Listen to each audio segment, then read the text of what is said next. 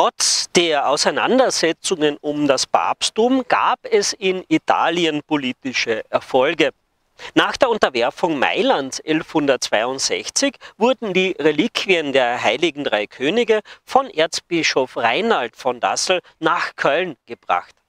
1167 zog Friedrich I. siegreich in Rom ein. Papst Alexander III. musste als Pilger verkleidet fliehen.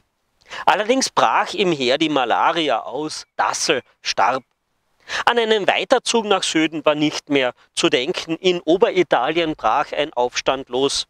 Der Lombardische Bund unter Führung Mailands wurde gegründet. Eine gemeinsame Festung mit dem Namen Alessandria errichtet, benannt nach dem Papst. Die Lage für den Kaiser wurde immer schlechter. Auch ein Rückweg über Burgund war nun verschlossen. Mit 30 Rittern und Geiseln versuchte er nach Norden zu kommen. Auch in den folgenden Jahren blieb Italien schwierig für Barbarossa. Schlussendlich gelang es dem Kaiser aber, Venedig von den aufständischen Städten zu isolieren. In Mittelitalien war er erfolgreicher.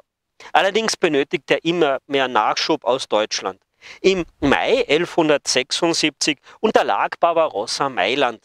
Es war eine vernichtende Niederlage. Der Kaiser musste sich einige Tage versteckt halten und es hieß, er sei tot.